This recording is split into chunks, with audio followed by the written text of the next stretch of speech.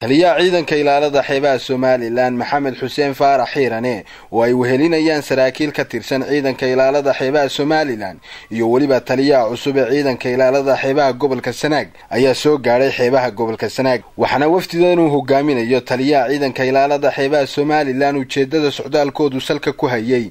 Uu kuurgelidda xaalada ciidanka ilaalada xeebaha ay fariinsimahoodu yihiin deegaanada conqor shalco wixiis maydh xarshow iyo laasasurad kuwaasi oo dhammaantood ka tirsan gobolka sanaag iyadoo taliyuhu warbixino kala duwan ka dhagaystay horjoogayaasha fadhisimahaasi islamarkaasina kala hadlay ilaalinta iyo adkaynta amniga xeebaha gobolka sanaag. Waxaynu hadda soo gaadhnay raxantii saldhigga saddexaad ee ciidanka badda. Raxantan waxay qabataa waa raxanta gaadiidka badda ku howlgasha gaadiidka hortuunu yaallaa midhmidh baynu u eegi doonaa qalabkoodii way haystaan waa niman badda oqoon u leh. Waxayna ka soo hoyeen guulo fara badan. Waa ciidanka lafdhabartiisii ragga budhcadbadeeda qabtee tahriibta keena weeyaan kan waxa weeye bahalihii mishimadii waa feebarada bahalaha lagu kaxayo weeye badda.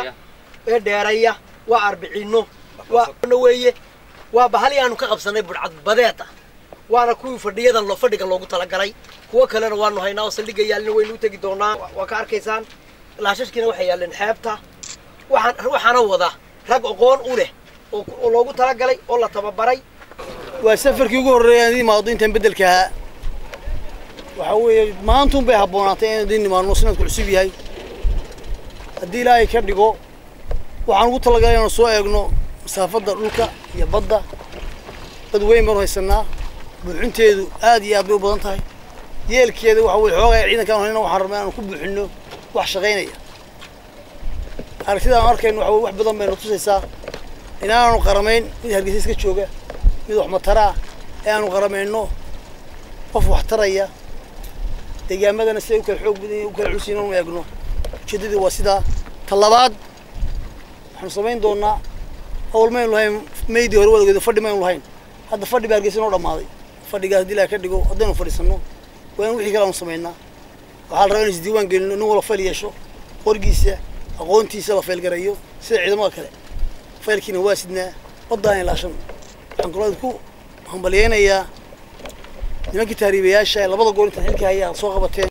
Sidoo kalena waxa uu taliyuhu booqday haansuna oo taalla xeebta xarshow ee gobolka sanaag taasi oo in muddo ah taallay halkaasi. Waxaana uu taliyuhu baaq u diray in hay'adaha ku shuqulle arrimaha caafimaadka ay baadhaan waxa ay tahay haantaasi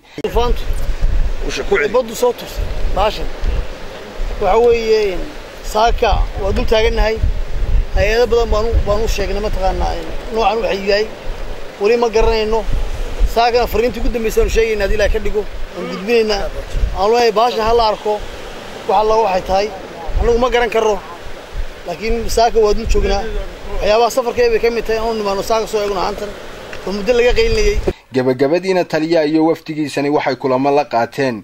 Waxgaradka iyo waayeelka degmada maydh ee gobolka sanaag waxayna ka wada hadleen sidii meel looga soo wada jeysan lahaa ilaalinta iyo adkaynta amniga xeebahaasi. Cabdiraxmaan axmed ilsar fogaan aragga xorta star t v magaalo xeebeedka maydh ee gobolka sanaag